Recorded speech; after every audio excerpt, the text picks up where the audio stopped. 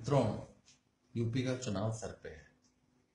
अखिलेश यादव जी पिछले पाँच साल से हमारे प्रदेश के मुख्यमंत्री हैं और विकास के एजेंडे पे चुनाव लड़ रहे हैं। अपने आप को वो विकास पुरुष बता रहे हैं। मेरा एक, उनसे एक सवाल है।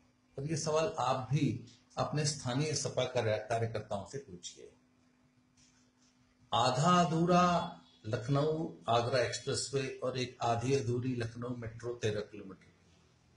ये दोनों अभी अधूरी परियोजनाएँ और इन्हें पूरा होने में कम से कम दो से तीन साल लगेंगे।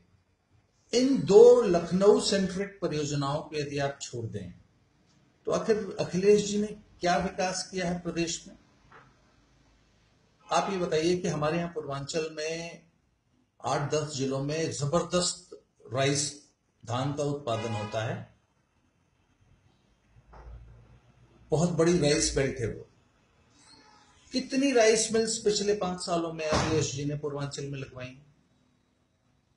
आप तो आपकी पार्टी तो यादवों की पार्टी है ना?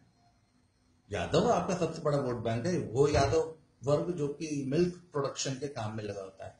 आपने पूर्वांचल में कितने मिल्क प्रोसेसिंग प्लांट्स लगवाए हैं पिछले पाँच साल में? कितने चिलिंग प्लांट्स लगवाए?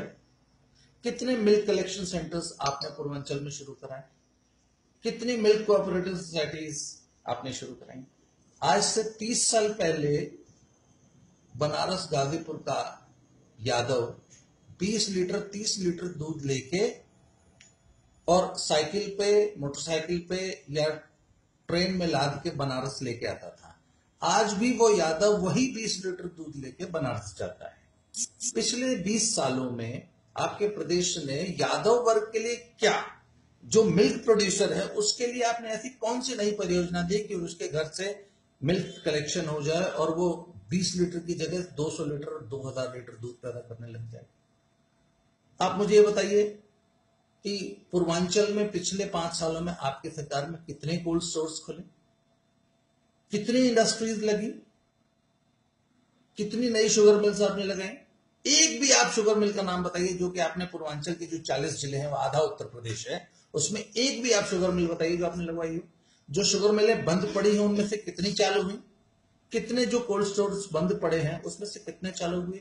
एक भी industry even a single industry जो आपने पूर्वांचल में आपके प्रयास से आई हो, आप बताइए। कोई भी एक सिंचाई परियोजना, जो आपने पूर्वांचल में आप लाए हो, कोई एक पावर प्रोजेक्ट कोई कोई थर्मल पावर प्रोजेक्ट हमारे प्रदेश में 1965 में बिजली आई थी, मेरे गाँव में ट्यूबवेल लगा था, तब छह घंटे बिजली आती थी। आज भी मेरे गाँव में एवरेज छह घंटे बिजली आती पिछले पाँच सालों में आपने बिजली में क्या सुधार किया?